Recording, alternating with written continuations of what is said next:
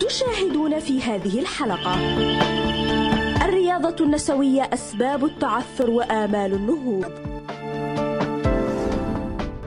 روضة دمجية في عدن لتمكين ذوي الإعاقة مجتمعياً. إبراهيم الصهيبي هواية الإعلام ورغبة التميز.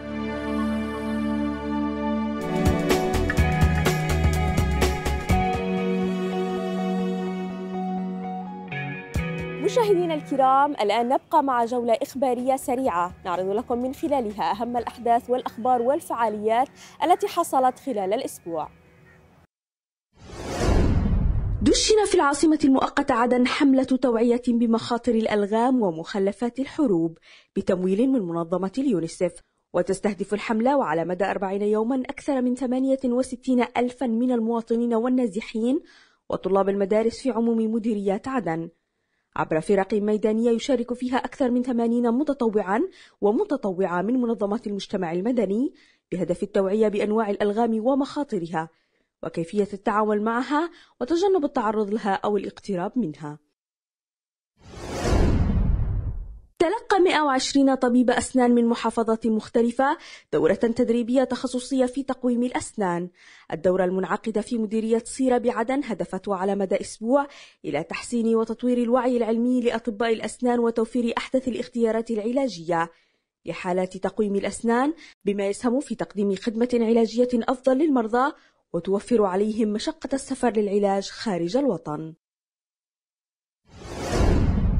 في العاصمة المؤقتة عدن المعرض الوظيفي الأول لخريجي الجامعة بعدن ضمن مشروع دلني على السوق الذي تنفذه شبكة قادة للتنمية المعرض الوظيفي شاركت فيه شركات تجارية وهدف إلى تمكين المشاركين في برنامج دلني على السوق من الحصول على فرص عمل وتطوير مهاراتهم وبناء قدراتهم للحصول على فرص عمل أكبر والحد من البطالة.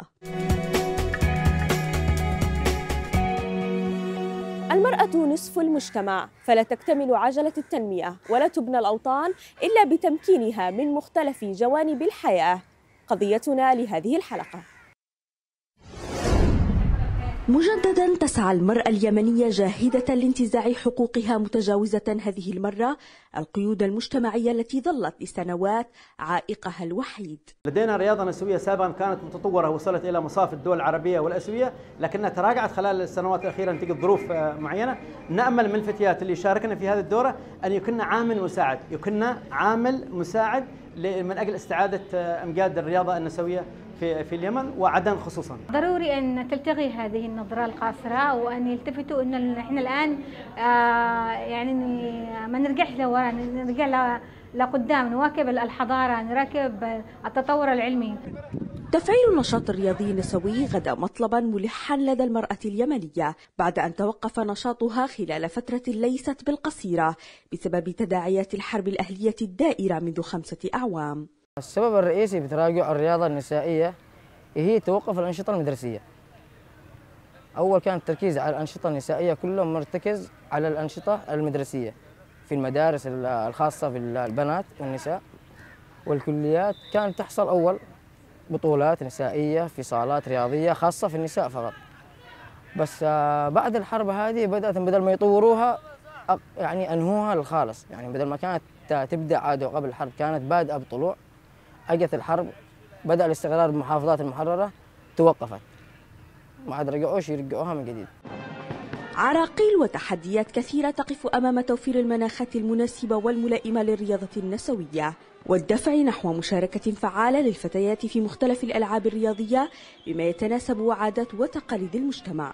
أصبحت غايبة في الوقت الحالي في في عدن على وجه الخصوص وذلك بسبب غيابها في المدارس. المدارس أصبحت الحصة البدنية لديها من المهملات وليس لها اهتمام في الجانب الرياضي.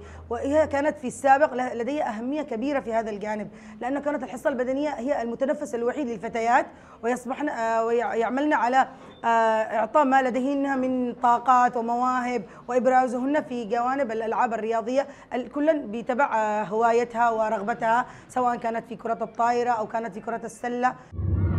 سجلت الفتاة اليمنية حضورا فاعلا في مختلف الأنشطة الرياضية وحققت نجاحات كبيرة محليا وعربية. ليبقى التحدي الأكبر أمامها مرتهنا بمدى مقدرتها على تجاوز ثقافة المنع والتحريم في مجتمع ذكوري مناهض لرياضة النساء. نرحب بالأستاذة صفاء الدبعي مسؤولة التدريب والتأهيل الإعلامي في الاتحاد العام الرياضي. آه، فرع عدن أهلا ومرحبا بك اليوم أستاذة صفاء معنا. بداية أستاذة صفاء حدثينا عن معنى التدريب والتأهيل وأهميته. اولا أهلا بك سارة آه، وأشكرك على هذه الاستضافة. آه، دوري هو مسؤول التدريب والتأهيل آه، في اتحاد الإعلام الرياضي فرع عدن ودوري هو آه، إقامة أو الترتيب للدورات التدريبية للإعلاميات الرياضيات. آه، وتاهيلهن التأهيل المناسب آه، في مجال الإعلام الرياضي. آه، حتى يتمكن من آه، الصحافة والإعلام آه، بكل احترافية. ماذا عن دور الإعلام في الرياضة وفي دعم الرياضة والرياضيين؟ آه، دور الإعلام هو آه، دور ال- ال- ال- ال- الناقل لكل الأحداث الرياضية. آه، الإعلام يعمل على تسليط الضوء على العديد من الفعاليات الرياضية وينقلها بالشكل المناسب آه، بال- بال- بالوسيلة المناسبة إلى الصحف آه، وإلى المواقع الإلكترونية. أولا بأول آه، فالإعلام هو مكمل للرياضة فلا يمكن أن تكون هناك مناسبات رياضية دون أن وجود أي إعلام. فالإعلام دائما يعمل على آه، على أن يكون آه، هو المرآة أو هو الضوء آه، الذي يسلط على الرياضة و- ونقل هموم الرياضة وال- والواقع الرياضي في في في في اليمن ككل يعني. فالآن في نوع من التطور الكبير في في الإعلام الرياضي. فأصبح الآن أيضا إعلاميات رياضيات موجودات في الساحة الرياضية. آه، ينقلن أيضا الأخبار الرياضية والوقائع الرياضية والمباريات آه، برغم أنهم ل- لم يكن ذاك العدد الكبير ولكن هناك في في في صدد التأهيل لعدد من الإعلاميات في مجال الإعلام الرياضي ما هي أبرز الصعوبات التي تواجه التدريب والتأهيل في الرياضة؟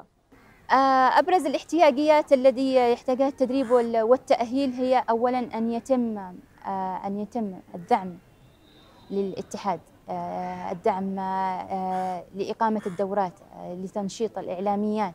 آه، أني أقصد في الدورات التدريبية ليست فقط على الإعلاميات ال- الإعلاميين أيضا الشباب بحاجة إلى تدريب وبحاجة إلى تأهيل. آه، الكثير من الإعلاميين حابين أنهم ينزلوا لتغطيات وفعاليات لكن مع الأسف حتى لا يملكون قيمة كاميرا. آه، أيضا كذلك انه الإعلامي أحيانا يقوم بالنزول إلى التغطيات من من من جيبه الخاص. آه، لا توجد هناك أي دعم للإعلاميين بالشكل المطلوب. آه، سواء كان الدعم المعنوي أو الدعم المادي أيضا كيف تقيمين دور وزارة الشباب والرياضة في دعم الإعلاميين والإعلاميات الرياضيات وكذلك الرياضيين والرياضيات بعدن؟ آه، وزارة الشباب والرياضة تعمل بشكل آه، بشكل آه، حثيث وفعال لدعم الإعلاميات الرياضيات وخير مثال هي مشاركتي في في الملتقى العاشر للإعلاميات الرياضيات في القاهرة آه، هذا دليل على أنه في اهتمام من وزارة الشباب والرياضة ممثلة بالأستاذ نايف البكري آه، حيث أنه يعمل على أنه آه، يكون هناك في اهتمام بق- بقطاع آه، الإعلام الرياضي فيما يخص للمرأة. آه، وكذلك اتحاد العام للإعلام الرياضي. آه، مؤخرا قام بإقامة دورات تدريبية في محافظة عدن آه، وأيضا في محافظة آه، سيئون آه، متخصصة في مجال آه، تطوير آه، الإعلاميين الرياضيين والإعلاميات الرياضيات. آه، هناك اهتمام موجود ولكن آه، ال- ال- ال- الأمور لن تأتي بشكل آه، سريع وعاجل آه، تحتاج وقت وتحتاج تخطيط وتحتاج تنظيم من الاتحاد الإعلام الرياضي بمشاركة آه، وزارة التربية وزارة الشباب والرياضة. ما هي نظرة المجتمع أستاذة صفاء نحو ممارسة المرأة للرياضة؟ آه، مع الأسف آه، لا زال المجتمع ينظر لل- لل- للإعلامية أو للرياضية النظرة ال- الدنيوية الصغيرة جدا. ال- الإعلاميات آه، والرياضيات نعاني بأنه هناك نقص في الوعي. آه، يعتقدوا أن ال- ال- اللاعبة هي مسترجلة إذا مارست الرياضة وهذا هو يعني عكس ذلك تماما. الرياضية أو اللاعبة أو الفتاة إذا مارست الرياضة فهي تكسبها القدرة على المواجهة القدرة على تقوية الشخصية القدرة على الظهور القدرة على البروز ال- ال- الإعلاميات الرياضيات أيضا يعانين من كثير من الصعوبات المضايقات التحرشات ال ال- يعني آه، الإعلامية ممكن أن تنزل لتغطية أي حدث ولكن آه، آه، من الصعب أنها تنزل لوحدها لابد من أن ينزل معها زميل لها في الحدث الرياضي. نتمنى أن يزيد الوعي وعي المجتمعي في قضية المرأة وأنها لها حق مثلها مثل الإعلامي ومثل الرياضي. لأن الرياضة ليست حكرا على الرجال. الرياضة يمكن أن تمارسها الفتاة ويمكن أن يمارسها الشاب كحد سواء. نتمنى أن يتم دعم هذا المجال بشأن تعزيز قدرة المرأة على الظهور ممارسة الرياضية بكل أريحية. كيف تقيمين مستوى الرياضة النسائية بعدن سابقا واليوم؟ آه دعينا نتكلم عن الماضي حتى نعطي حقه أولا. آه الساحة الرياضية ممتلئة بالنجمات الرياضيات. آه الزمن القديم كان يمتلك الكثير من الجواهر الرياضية. آه صحيح أنهم الآن ليسوا لهم أي صلة في المجال الرياضي ولم يعودوا أيضا أي لهم أي ظهور. أمثال الأستاذة نايلة نصر وسميرة نصر أيضا ونادية نواز والكثير والكثير يعني. أني لا يسعني الآن الوقت أنني أذكرهم كثيرا. ولكن هناك كثير من الرياضيات الذي هم أيضا غائبات أو غيبوا من الساحة الرياضية بسبب الظروف يعني الذي تحيط بنا من كل مكان. ولكن لا, لا ننسى أنه هناك كان جيل رياضي. ونحن أيضا بدورنا كان لنا أيضا بروز خلال العشر السنوات الماضية. كان كان عدد كبير من الفتيات يمارسون الأنشطة الرياضية. في في كرات الطائرة وفي كرة السلة والعاب القوى كانت فيها نجمات كبيرات في في في ذاك في في الزمن القريب.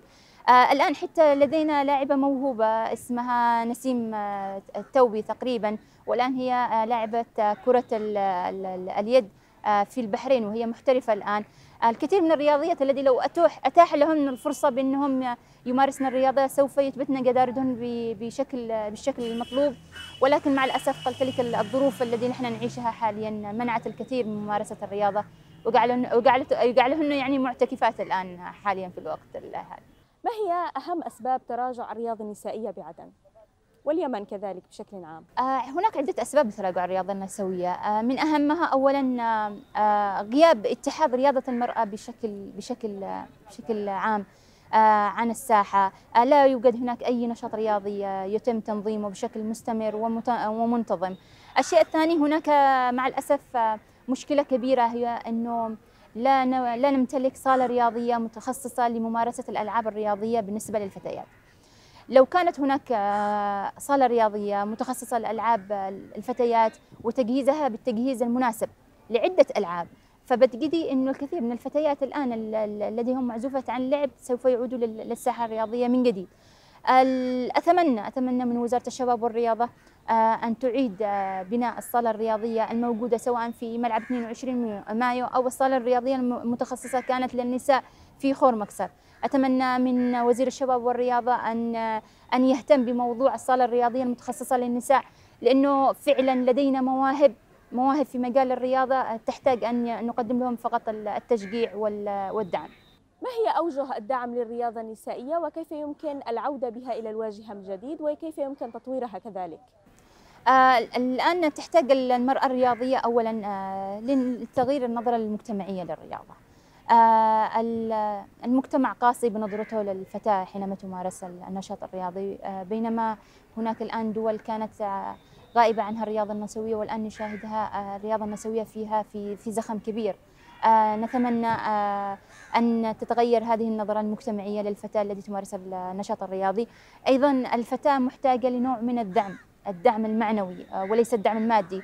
أو إن كان أيضا الدعم المادي مطلوب أيضا لممارسة النشاط الرياضي. ولكن الدعم المعنوي في أنه لما تلعب الفتاة نقول لها برافو أجدتي ممتاز. بينما بدل أن نقول لها لا مش مناسب الأفضل لك البيت أو الأفضل لك الزواج أو الأفضل لك التعليم.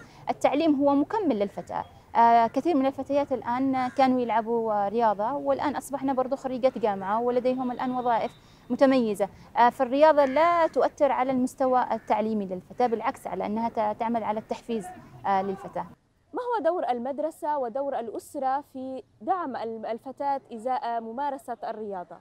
أني أقول الدور هو مكمل. إذ لم يكن هناك تشجيع من الأسرة لن يكون هناك تشجيع من المدرسة. المدرسة أيضا آه لابد من أنها تخصص حصص الأنشطة الرياضية لممارسة النشاط الرياضي. آه، نحن نعاني آه، منذ فترة من غياب النشاط الرياضي في المدارس. آه، ال- ال- الآن أصبح التوجه نحو آه، الحصص آه، الحصص التعليمية وحصص دراسة الكمبيوتر أو دراسة اللغات. آه، كل هذا مفيد للفتاة ولكن أيضا حصة النشاط الرياضي لابد لها أن تعود من جديد آه، في في المدارس. آه، كثير من المدارس الآن تعاني من من غياب من غياب الألعاب بسبب إنه لا يوجد هناك لها أي تجهيزات. أبسطها أن يكون هناك ملعب صغير لممارسة كرة ال- الطائرة أو كرة السلة أو كذلك حتى تنس الطاولة. المدارس تشكي من إنه هناك غياب الدعم من مكتب الأنشطة الرياضية في مكتب التربية والتعليم. آه، نتمنى أن يكون هناك في دعم لجميع المدارس في في المحافظات المحررة وكذلك المحافظات الغير محررة. أن يكون هناك دعم من قبل مكتب التربية والتعليم في في تقديم تقديم ال ال ال ال الأجهزة تقديم الملاعب تقديم الأدوات الرياضية للمدارس حتى يتمكنوا الفائده من ممارسة أنشطتهم الرياضية بكل أريحية. نعم. آه، يحتاج التأهيل والتدريب طبعا قبل كل شيء. يحتاج لمتخصصين في مجال التدريب والتأهيل.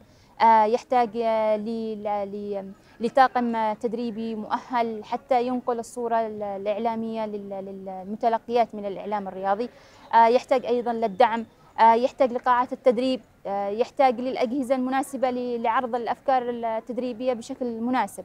آه، نتمنى الآن من الاتحاد العام آه، للإعلام الرياضي أن يخطو آه، نحو توفير هذه ال- المتطلبات لل- للاتحادات آه، اتحادات الإعلام حتى الإعلاميات أنهم يستطيعن أن يمارسن آه، مهنة الصحافة ومهنة الإعلام بكل بكل بكل جدارة. أنا لا أجد أي أي نقص في أي إعلامية بالعكس الإعلاميات الآن أصبحن مؤهلات في هذا المجال. أستاذة صفاء هل تجدين بأن الإعلام الرياضي ساهم في تسليط الضوء على أهمية الرياضة وأهمية الرياضة النسائية بشكل خاص؟ الاتحاد الإعلام الرياضي لساته اتحاد جديد مشكل. آه، يعني آه، لساته يخطو خطواته الأولى آه، في الإعلام. الإعلام الرياضي غائب منذ فترة. ليست يعني بقليلة ولكن منذ أحداث الحرب 2015 الإعلام الرياضي يكاد أن يكون مختفي عن الساحة الرياضية آه، إلا ما رحم ربي طبعا المواقع الرياضية الخاصة. آه، ولكن الآن في نوع من العودة والعودة هي القوية. آه، بت- بالتاكيد إنه إحنا أصبحنا الآن نشارك في الإعلام الرياضي بشكل قوي. أصبحنا نكتب مثلنا مثل الإعلاميين آه، في في التغطيات الرياضية. آه، ولكن مع ذلك يحتاج أيضا ل- لزيادة آه، لزيادة اهتمام ولزيادة دعم. من وزارة الشباب والرياضة من وزارة الإعلام. نعم. البعض يهاجم بأنه آه، الإعلام الرياضي غائب كليا عن الأحداث الرياضية. هذا الكلام غير صحيح. الآن نحن بدأنا في في خطة في خطة هي الخطة اللي تعتبر الخطوات الأولى في مجال التدريب.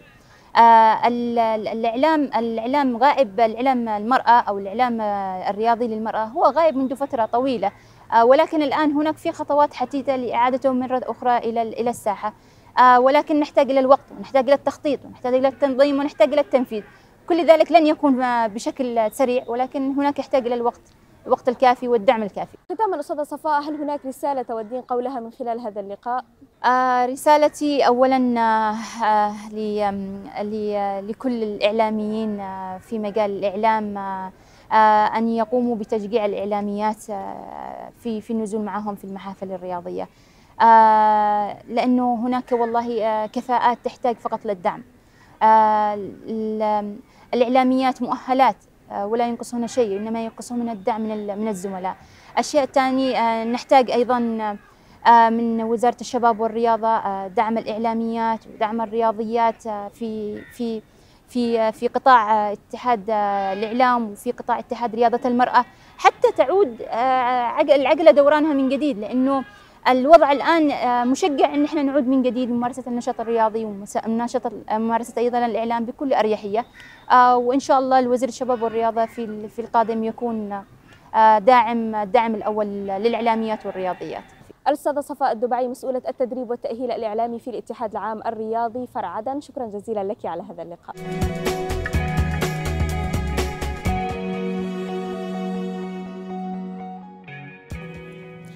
لا تزال مدينة عدن الجميلة تسخر بالعديد من الحكايات والقصص. اخترنا لكم منها هذه الحكاية. فابقوا معنا.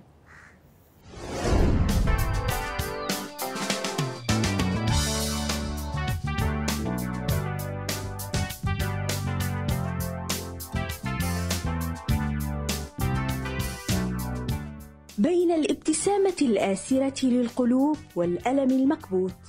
تكمن إرادة طفل أصم يقف في طابور الدرب الطويل مستقبلا واقعه الجديد.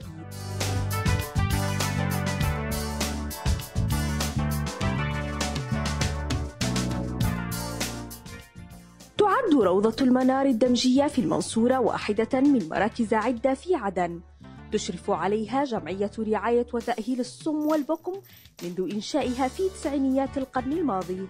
وتقدم خدمات متنوعة لأكثر من 300 أصم وأبكم من يوم ما تم تأسيسها يعني من 97 كانت الخطوات الأولى إنها المراكز والأماكن المخصصة لهم. نعم.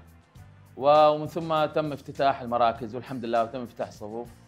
كانت هناك إعاقات من بين وجود معلم آه، أجرته أتعابه حتى فتح الصفوف سنة بعد سنة من سنة أول لثاني لثالث لرابع أيضا آه، آه، حتى لا كان يعني كان عندنا صعوبة حتى نتعاقد مع المعلمين أو حتى كتطوع أو حتى يكون معنا إيرادات لدعم المعلمين لتعليم الصم.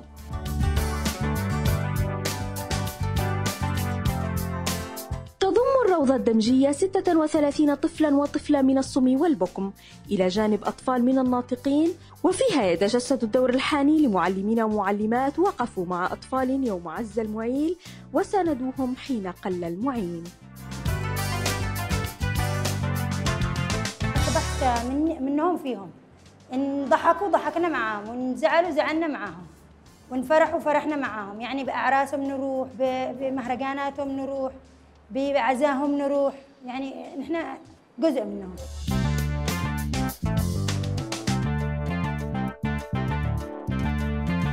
تهدف الروضة إلى تعليم الأطفال الصم والبكم لغة الإشارة ومبادئ القراءة والكتابة إضافة إلى دعمهم نفسيا من خلال الحفلات الترفيهية والنشاطات الثقافية.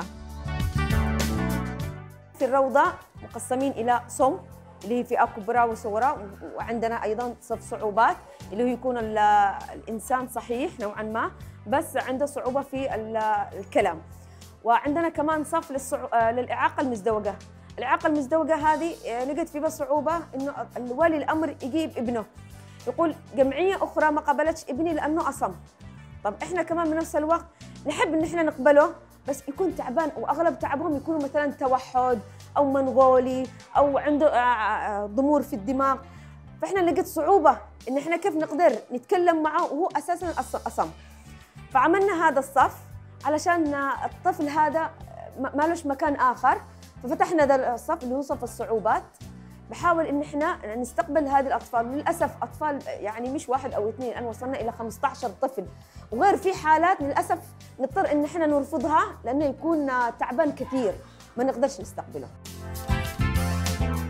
تتكون الروضة من ست شعب دراسية وقاعتين للأنشطة وتدريب الكمبيوتر ويعمل فيها كادر تربوي على قدر كبير من الخبرة والتخصص. طبعا إحنا مهامنا الأول هو رفع آه، مستوى آه، الاستفادة من لغة الإشارة وأيضا تطوير لغة الإشارة. لازلنا إحنا آه، لازلنا إحنا نتابع ونسعى حول تقدم لغة الإشارة. طبعا دائما الأصم ذكي الأصم يفهم لكن مشكلة التعامل مع ولي الأمر أو مع المجتمع مع الأصم لعدم عدم عدم خبرتهم للغة الإشارة.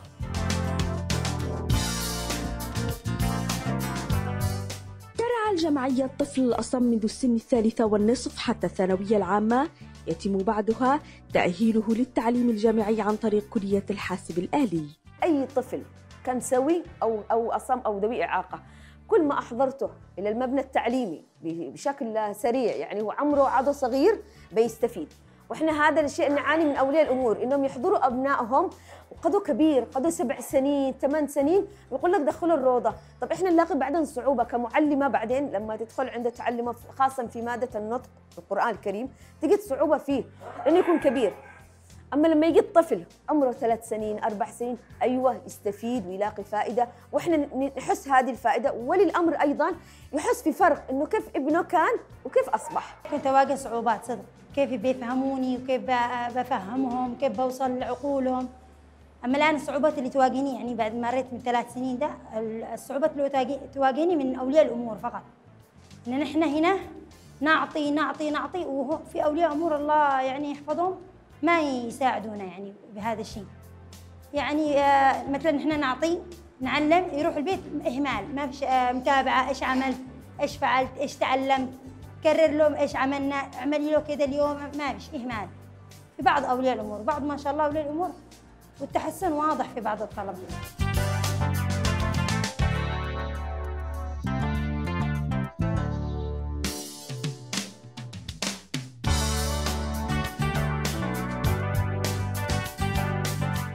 يعتبر تعليم الأصم من المجالات شديدة التخصص التي تتطلب عناية فائقة بهؤلاء الطلبة وبما يساعد على تطوير العلاقات الاجتماعية والمعرفية فيما بينهم ويتيح لهم إمكانية التعبير عن حاجاتهم المختلفة. يفضل نحن يكون معنا م- مدرسة واحدة كل ال- الصفوف يكون مركز واحدة وأيضا المواصلات وأيضا آه، زيادة آه، آه، الدعم. يعني آه، لازلنا نعاني من آه، آه، التوفير الخدمات للشباب وللصوم والأطفال والفئات. لا زال الجمعية تقتصر فقط على حول الأطفال. ما لا زالت إحنا عندنا آه، عندنا قصور في الخدمات بشكل أقوى وأكبر. المشكلة الوحيدة والكبيرة بالنسبة للجمعية المواصلات للأسف. آه، بسبب أنه الميزانية آه، ضئيلة وإن أجت تجي متأخرة. فهذا يستدعي ولي الأمر يا إنه يجيب ابنه يا إنه ما يجيبوش. إذا كان أماكن بعيدة يقول لك المواصلات تكون مكلفة عليه وخاصة إذا كان ولي الأمر عنده أكثر من أصم. قد يكون ولي الأمر معه اثنين ثلاثة وأحيانا يوصل لأربعة أصم. فيقول لك أنا ما أقدرش أجيبه. الصعوبة الثانية اللي نواجهها المعلمين. إحنا معلمين عندنا حكوميين قليلين جدا ولأن إحنا مراكز عدة ليس فقط في الروضة مراكز عدة في محافظة عدن فمقسمين. وإحنا معنا كمان أيضا معلمين متعاقدين وكمان قليلين لأنه آه للأسف لنا فترة ما عاد جابوش عقود من صندوق المعاقين. فالطاقم اللي عندنا أغلبه متواجد متطوع وراتبه يكون ضئيل جدا.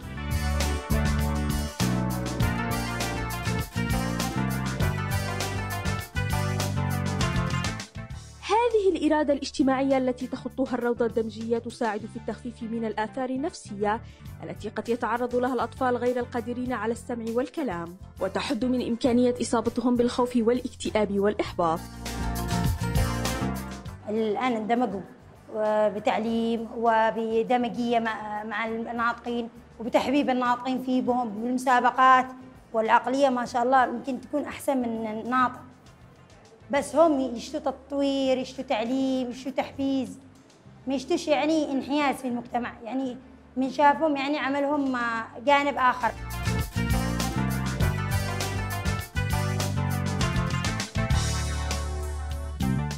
تمثل مراكز تأهيل الصم والبكم بارقة أمل وحيدة لفئة هي في أمس الحاجة للرعاية والاهتمام والاندماج في المجتمع. لكن افتقارها للكثير من الإمكانيات يحول دون تحقيق الغايات المرجوة واكتمال الحلم المنشود؟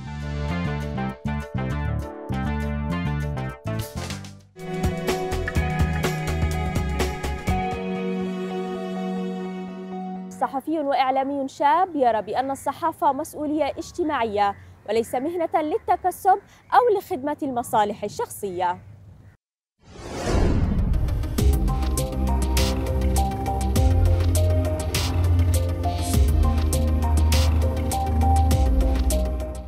سعيا منه لإيصال صوت من لا صوت لهم. التحق إبراهيم الصهيبي بقسم الإعلام بجامعة عدن لأنه يرى في الإعلام سلطة رابعة تنتصر لمظلومية الضعفاء وتقارع فساد العابثين. اخترت تخصص الإعلام لسببين. السبب الأول أنه كل شخص منا عنده رؤية مختلفة ورأي مختلف. يمكن أنه يعبر عنه بطريقة مختلفة. مثلا أنا بلاقي نفسي أن أنا أعبر عن رأيي مثلا من خلال الجرايد من خلال الإذاعة من خلال برنامج معين في التلفزيون. أيضا السبب الثاني أنه الإعلام مثل ما نعرف أنه سلطة رابعة هو اللي يكون الرأي العام يوجه طبعا الرأي العام إلى المسؤولين. بالتأكيد أنا لي الشرف أن أنا أوصل صوت الناس للمسؤولين أو لمن ليس لهم صوت فأنا أكون صوتهم طبعاً. منذ الطفولة وإبراهيم الصهيبي يهوى الإعلام شغوفا بالتصوير والكتابة الصحفية وتأتي القضايا الإنسانية في مقدمة اهتماماته إيمانا منه بدور الإعلام في خدمة المجتمع وتبني قضاياه.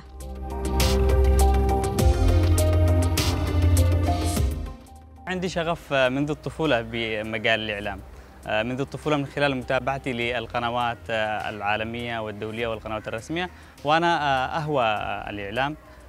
كان هذه الهواية تراودنا منذ الطفولة أننا أدخل وأتخصص إعلام. المواضيع الإنسانية أحيانا هي الأهم أهم حدث بالنسبة لنا كمواضيع إنسانية. مثلا التحقت في دورة لدى المركز الاقتصادي بالتعاون مع الوكالة الفرنسية ودرست الفيوتشر الصحفي يعني كتابة القصة الإنسانية. أعتقد آخر قصة اشتغلتها قبل شهر. قصة إنسانية عن طفل عنده مرض التوحد وبالإضافة إلى مأساة الحرب. لذلك أنا سعيد جدا أن أنا أوصل معاناة الناس للجهات للمسؤولين. حيكم تحية طيبة رغبته بدراسة الإعلام اصطدمت بواقع التعليم ومناهجه البعيدة عن الواقع إلا أنه يحاول بجهود ذاتية التطوير من مهاراته وقدراته ومواكبة الواقع الإعلامي الحديث. الصعوبة الكبيرة التي التي واجهتها منذ أن التحقت في كلية الإعلام واجهت مشكلة. هذه المشكلة المنهج طبعا المنهج الإعلام لم يحدث إلى اللحظة. فهذه مشكلة. يعني لما أدرس أنا مثلا في أقلب صفحات صفحات الدراسة مثلا أجد هناك في القرن التاسع عشر ما التاسع عشر الآن الإعلام أصبح محدث أصبح إعلام جديد. لذلك لابد من تحديث هذا المنهج. وأعتقد أيضا أكبر مشكلة وعائق أمامي أنه الإعلام بين لازم ما نعيش الإعلام بين النظري والعملي. يعني التطبيق مهم جدا. أنا مثلا لما أنزل الميدان غير لما أحضر المحاضرات غير وهذه مشكلة. العائق الثاني أنه في البداية وأنا في مشواري وفي عملي المهني كنت أواجه مشكلة اللي هي الكاميرا. أستعير كاميرا من زميل لي وأيضا حاولت أتخلص من هذه المشكلة. طبعا بفضل ابن عم لي معاذ الصهيبي حاول دعمي بكاميرا واعتقد لن أنسى له هذا الفضل ابدا. وحاولت بعد كذا أنطلق ومن هنا كانت انطلاقتي في الإعلام.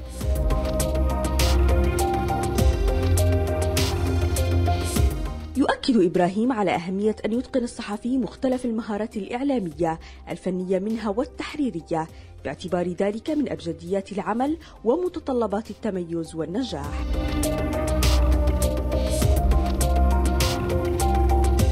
لتطوير نفسي في المستقبل من خلال الالتحاق بالورشات. لحد الآن أنا أركز على الورشات الإعلامية. يعني ألتحق بأكثر من ورشة إعلامية لأنه مثل ما قلت أنه التطبيق له دور كبير بحياتي. أيضا يمحور شخصيتي ويجعلنا أشتغل على الأرض وعلى الميدان بشكل فعال وبشكل جيد. لذلك أنا أسعى جاهدا أن ألتحق بهذه الورشات ومن ثم أطور نفسي. مثلا أنا أرغب طبعا إن أنا أكون مراسل دولي أو أرغب إن أنا أعمل في في الإعلام الدولي عفوا لذلك إيش إيش يحتاج مني الإعلام الدولي؟ يحتاج مني ثقافة واسعة، يحتاج لغة عربية، يحتاج إنجليزي بالمقام الأول، لذلك أنا حاليا أعمل على نفسي جاهدا ليل ونهار بتطوير نفسي وتجهيز نفسي للمستقبل للعمل في العمل الإعلامي الدولي إن شاء الله. الصورة النمطية حول الصحافة والصحفيين والكاميرا. صعوبات لا زالت تشكل تحديا للإعلاميين في اليمن لا سيما الميدانيين منهم متطلعا إلى واقع أفضل للإعلام ومساحة أوسع للعمل والإبداع.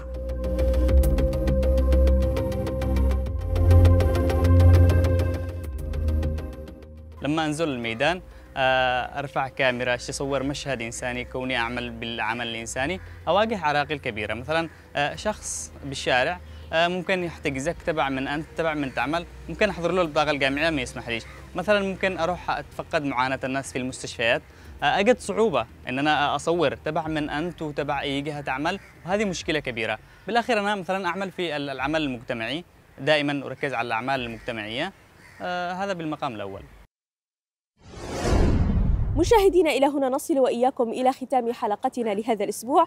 ألقاكم في الأسبوع المقبل. في أمان الله.